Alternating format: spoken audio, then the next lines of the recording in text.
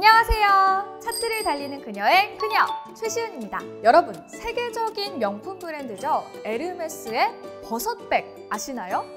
버킨백은 알아도 버섯백은 잘 모르시겠다고요? 아니요. 버섯백이 정말로 있습니다. 바로 친환경 미래를 위해 에르메스가 특별히 개발한 신상백인데요. 이처럼 지속 가능한 미래라는 인류 공동의 목표 하에 기상천외한 소재들이 끊임없이 개발되고 있습니다. 오늘은 상상도 못한 신박한 친환경 소재라는 주제로 함께 달려보겠습니다.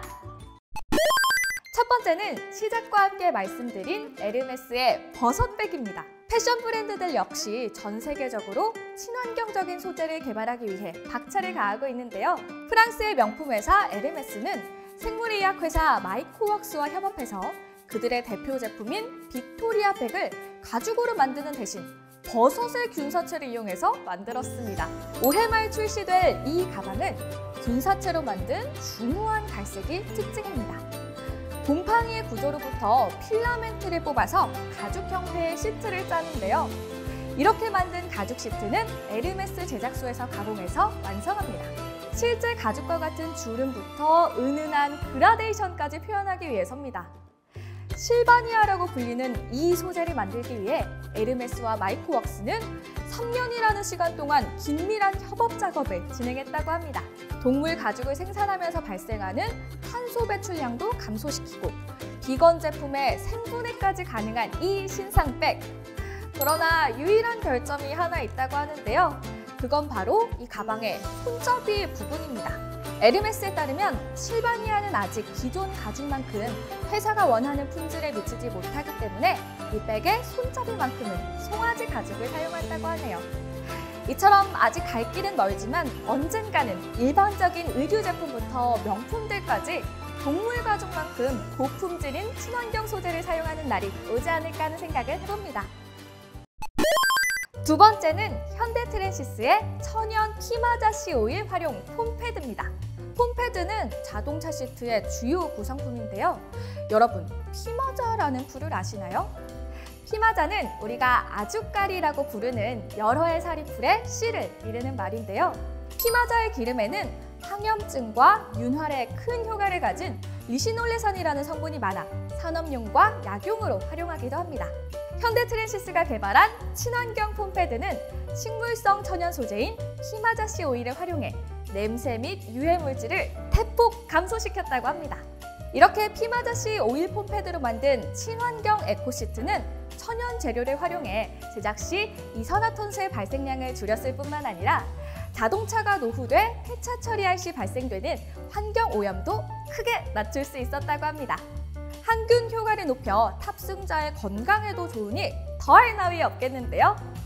앞으로 출시될 신차에도 적용할 예정이라고 하니 모두 기대해보자고요. 신박한 친환경 소재 세 번째는 타미 힐피거의 사과 껍질 운동화입니다. 패션 전문 기업 한섬이 사과 껍질을 이용해 만든 타미 힐피거 애플 스니커즈를 선보인 건데요. 모든 것을 수용하고 어떤 것도 낭비하지 않는다는 타미 힐피거 본사 방침에 따라 친환경 소재를 이용한 독특한 스니커즈를 제작했습니다. 일명 비건 가죽으로 불린다는데요. 비건 가죽은 앞서 설명드린 에르메스 버섯백의 소재인 실바니아처럼 동물 가죽이나 털을 사용하지 않고 합성 피혁이나 과일 껍질 등의 대체 소재가 적용된 가죽을 의미합니다. 이 스니커즈는 전체 소재의 24%가 사과 껍질을 재활용한 비건 가죽으로 만들어졌다고 하는데요. 이름만 들으면 왠지 향긋한 사과향이 날 것 같은 애플 스니커즈. 저도 한번 신어보고 싶네요. 더 이상의 신박한 소재는 없을 거라고 생각하셨죠? 속단은 금물! 여기 선인장으로 만든 티셔츠가 있습니다. 최근 스웨덴의 SPA 브랜드 H&M은 선인장, 해조류 등으로 만든 옷을 선보였습니다. 국내에서는 플라스틱을 재활용해 옷, 신발, 가방 등을 선보이는 움직임이 활발해지고 있는데요. 플라스틱을 옷으로 만든 과정은 어느 정도 상상이 가지만 식물과 수상생물이 어떻게 위류로 재탄생한 걸까요? 선인장으로 만들어진 식물 기반의 가죽 대체들 디저트로라는 소재가 이걸 가능하게 했습니다. 이 디저트로 소재를 개발한 사람은 아드리안이라는 이름의 멕시코 기업가입니다. 자동차 공장에서 가죽을 다뤘던 아드리안은 어느 날 패션업에 종사하며 가죽 제품을 만들던 마르테를 만났습니다. 이들은 가죽보다 조금 더 친환경에 도움이 되는 소재를 찾아 나섰습니다. 이미 일반적인 가죽을 대체하는 소재로 플라스틱으로 만든 인조 가죽이 있었지만 이들은 이 제품마저 다시 버려지면 결국 환경오염 문제를 완전히 해소할 수 없다는 점에 주목했습니다. 고민 끝에 멕시코에서 언제나 어디서든 볼 수 있는 식물성 재료인 선인장을 눈여겨봤습니다. 선인장은 피부에도 좋고 이산화탄소를 흡수한다는 강점까지 지녔는데요. 약 2년간의 수많은 실패와 시행착오를 거쳐 마침내 선인장을 가죽으로 변신시키는 기술을 개발하게 된 두 사람. 자신의 주변에서 가장 현명한 대안을 찾아낸 사례라고 볼 수 있겠네요. 오늘은 미래의 신박한 친환경 소재를 주제로 차트를 달려봤습니다. 에르메스의 버섯백, 현대 트렌시스의 친환경 자동차 시트와 사과 껍질 운동화, 또 선인장으로 만든 티셔츠까지. 여러분은 어떤 게 가장 마음에 드셨나요? 차트를 달리는 그녀, 다음 편도 많이 기대해 주시고요. 이외에도 여러분께서 알고 계신 신박한 친환경 소재, 그리고 기대되는 소재가 있으시다면 댓글로 부탁드릴게요. 자, 그럼 안녕! 오늘 영상이 재밌으셨다면 구독 그리고 좋아요 꾹꾹 눌러주세요.